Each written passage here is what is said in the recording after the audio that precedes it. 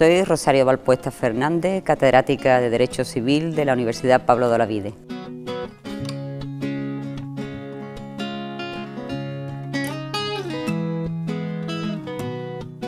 Bueno, pues hoy es una fiesta de mujeres y yo creo que las que estamos aquí, que podemos celebrar realmente la conmemoración de esas mujeres que lucharon, tenemos que recordar las que no pueden estar.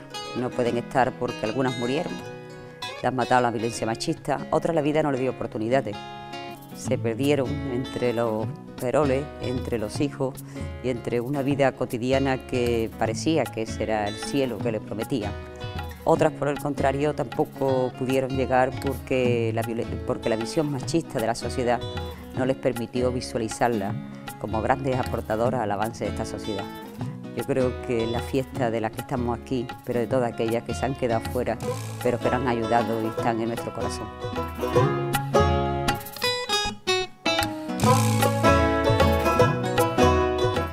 Ahora más que nunca tenemos que estar alerta.